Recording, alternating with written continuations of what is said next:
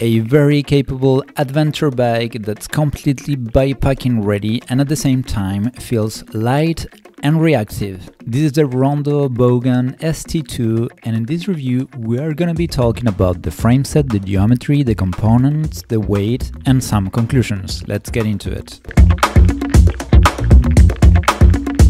I like Rondo bikes because it's kind of something different in the market. This brand is from Poland and they specialize mostly on gravel bikes. I find they put a lot of attention on their designs and innovation, like the adjustable geometry, for example. This is my friend's bike and it's already been a little bit customized. He's changed the original seat post for a dropper post.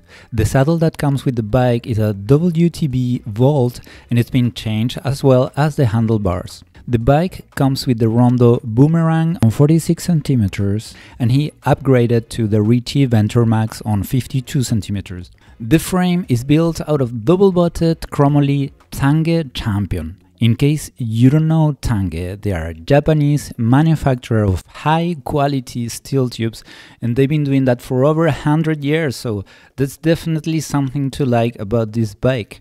There is an internal routing for a dropper post and all you need for a front derailleur as well. The fork is made out of carbon and it gives the possibility of changing the position of the wheel's axle and therefore the bike's geometry. That's what they call adjustable geometry. The tire clearance of this frame set is 2.1 inches on 29 inches wheels, which is a little bit less than some of the most popular drop bar 29er bikepacking bikes like the Kona Sutra LTD with 2.3 inches clearance or the Salsa Fargo at 3.0 inches clearance. In any case, 2.1 is more than enough for non-technical terrain like forest roads, gravel and double tracks and even slightly technical terrain as well. I would have loved just a tiny bit more like 2.2 just because on my Kona Sutra LTD I'm used to having the Teravail Sparwood on 2.2 and to me it's just the perfect versatile tire size for off-road drop bars but 2.1 is close enough. The frameset has triple mounts for anything cages on the upper and lower side of the diagonal tube plus on the fork blades. There is the traditional double mount on the seat tube and an additional one on the top of the top tube for installing a small bag. Something that I find extremely useful is these double mounts on the seat stays that I would personally use for water bottles, so I could free the main triangle for a full frame bag and the fork for small panniers. A nice detail is this little handle for lifting the bike, especially useful for when the main triangle is being used for a full frame bag, the geometry. The front wheel through axle goes through a chip that can be flipped over and as a result it changes the height of the front end of the bike by a few millimeters. Thanks to Bike Insights, we can actually compare the two possible geometries and probably the most important numbers we should look at are stack and reach for the position and the trail for the handling. This is where the adjustable geometry is going to have the most influence.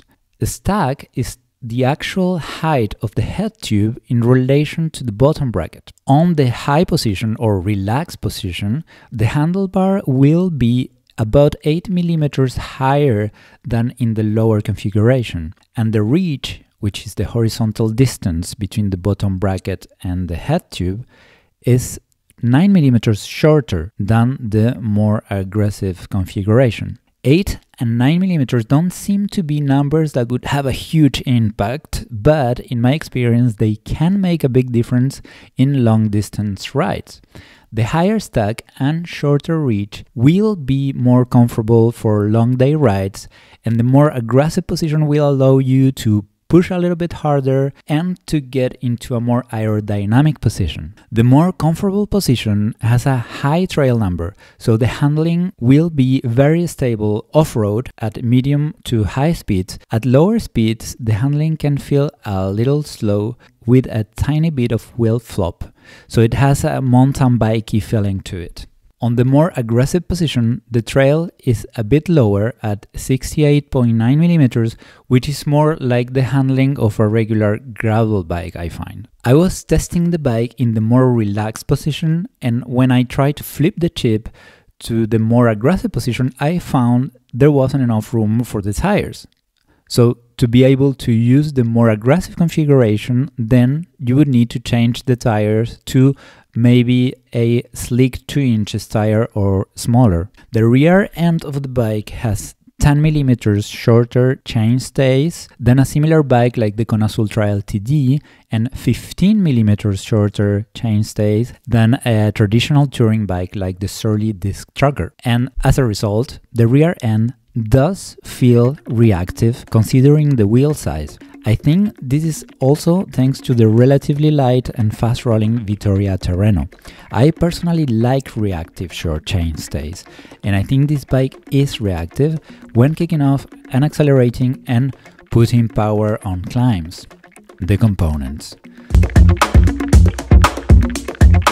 The ST2 model comes with a SRAM Apex 1x11 drivetrain, which is great for gravel riding, but a little bit short for bikepacking, I find, considering the bike would be loaded and off road. The ST1 model, on the other hand, comes with a 2x10 Shimano GRX drivetrain, which is higher end and has a great range of gears, but it's more expensive.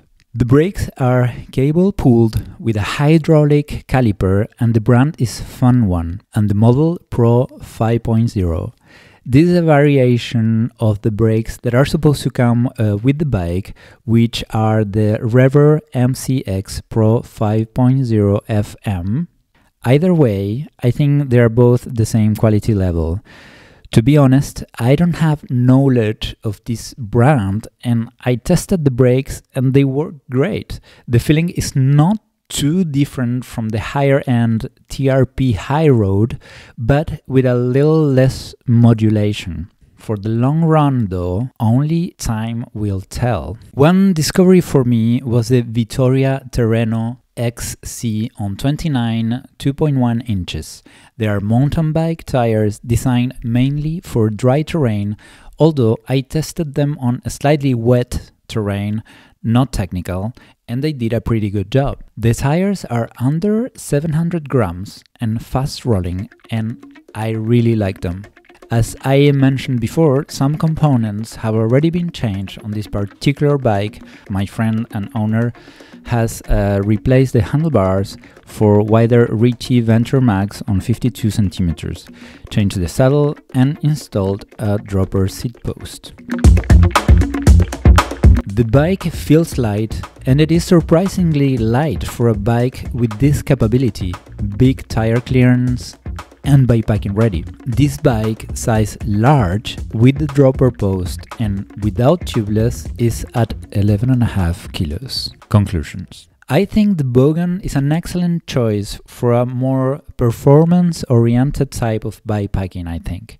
It's lighter, more reactive, and with a more aggressive geometry than similar drop bar bikepacking bikes in the market like the Kona Sutra LTD, the Cinelli Hobootleg Geo, or the Genesis Vagabond. The fact that the Rondo Bogan has less tire clearance than those other bikes also tells me that it's been designed for faster and lighter tires whereas the other bikes are almost like mountain bikes with uh, drop bars. I also like the versatility of the bike. As a relatively light bike with the uh, aggressive geometry setup and fast gravel tires, this bike can be super fun and performing gravel bike. Then flipping the tip on the fork and putting tires like this, the bike is ready for long trips on gravel roads, forest roads, and double tracks, and so on. Flipping the tip on the fork takes about half an hour. It's relatively easy, but you do have to change the brake caliper adapter, which means every time there will be some adjustments to do. I personally would change it only once or twice per year, like for example, aggressive for the winter shorter rides and chill position for the summer longer trips. The Bogan ST2 can be found online for about 2200 euros.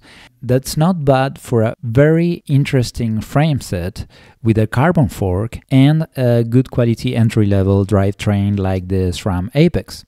The brake caliper are from a brand that's a little unknown, but it doesn't mean they won't last a number of years. It also depends on how much you ride and your riding style.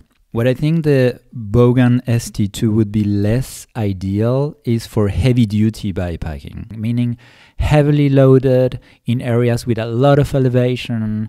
In that case, I would consider going for the Bogan ST1 that offers a much wider range of gears and a higher end, more reliable drivetrain and brakes but with a price difference of about 5 to 600 euros. For the fit, I'm 1 meter 83 with an 87 centimeters in seam and the 80 millimeters stock stem was too long for me. For a perfect fit, I would need to swap it for a 40 or 50 millimeters one. Otherwise, the size large was perfect. I hope there was some value for you in this video. Thank you very much for watching and see you next time.